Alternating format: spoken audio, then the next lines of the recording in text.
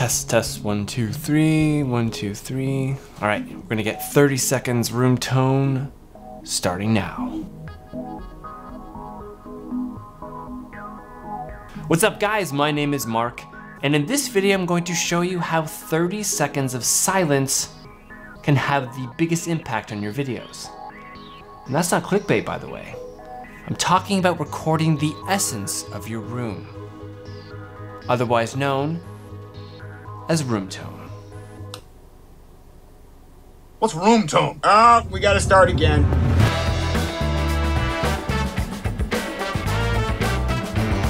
Now I realize it's not the most exciting of topics, but it's such an important part of the filmmaking process, I feel it's worthy of a dedicated video.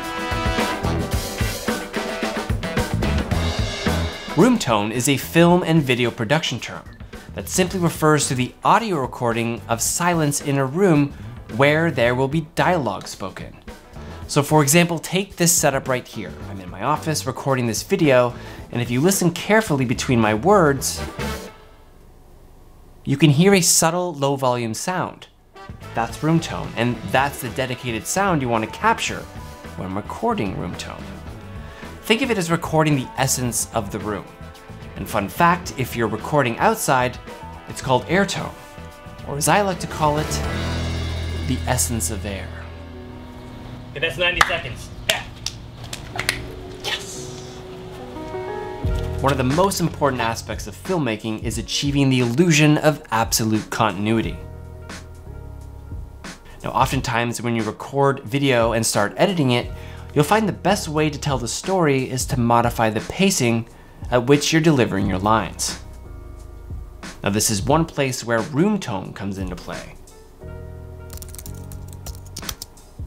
It's used beneath the dialogue track to help fill those holes left from your pacing pass. And that helps bolster the audible illusion of absolute continuity. It can also be used to place underneath voiceover tracks you record later to help provide a consistency of sound. Room tone is also one of those things you don't realize you hear until it's gone. Now let's say I didn't record any room tone in this setup, and I place a gap between two clips. Now it's easier to hear if you have headphones, but you will hear it. Notice that subtle hiss becomes absolute silence. It's distracting and will pull your audience out of the story you've worked so hard to build. Of course, there are tricks to hide this, like if you're using music in your mix, but because capturing room tone is so simple, there really is no excuse not to do it right. Do it right.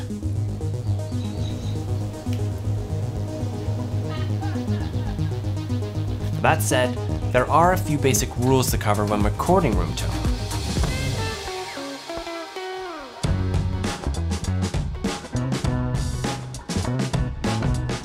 It's important to record room tone with the same microphone as you're using to record your dialogue.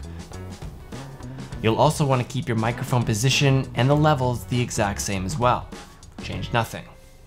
This can get a bit more complicated the more microphones you have, but let's just keep it focused on a single mic for now. If you have crew in position on set as well, you want to try to keep everybody in the same general positions they were in during recording. Moving people around on set can change the acoustic of a room, and that will impact your room tone recording. Record room tone in every room dialogue is spoken. Because every room has a different acoustic, and because you're looking for that consistency of audio to keep people invested in the story, it's essential to record room tone in every room dialogue is spoken. Now, listen how these different rooms have a unique essence, or Sound of Silence.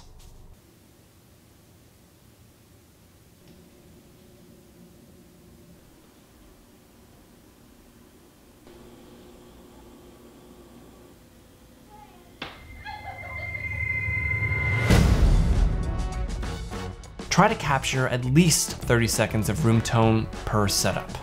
This will give you a good chunk to pick and choose from when cleaning up your dialogue scenes. And if you're outside recording air tone, try to capture 90 seconds minimum, up to three full minutes if you can. Outdoor noises are far less controlled than studio, so this will give you the best options for post-production. 90 seconds. F, U, N. Now, room tone really is one of those things that can have the biggest impact on your videos. It can also get pretty complicated depending on the complexity of your production. Now, whether you're working on a single setup YouTube video or a professional film production, room tone is an essential piece of that puzzle. So the next time you're set up to record a video, give yourself 30 seconds of record time in silence. It's not only therapeutic, but will also elevate your videos to new heights, even if you're the only one who immediately notices. Now I personally like to record my room tone at the beginning of my videos just so that I don't forget. And yes, I have forgotten. A few times.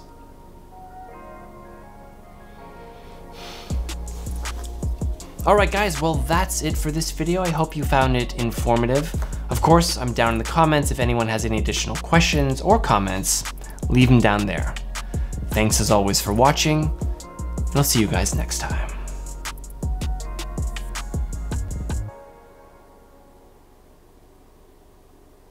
Two things, now that we're done the main part of the video. One, I have no idea how I'm gonna make this visually interesting. That's gonna be a bit of a challenge, but something that I'm gonna have to figure out. Number two, honestly, room tone. Like, not many of you guys know, but I work as a film and TV editor. So one of the first things I do whenever I'm cutting something is I isolate the room tone for any scene that I'm cutting. So scene number one, find the room tone, cut the dialogue scene. And I'm using it all the time. It is so, so, so crazy important. And room tone and ambient sounds are two different things. Room tone is more of a technical plug to kind of like give the illusion of continuity and, and ambient sounds actually add to the story. They're a story motivated element. So, all right, I guess that's it.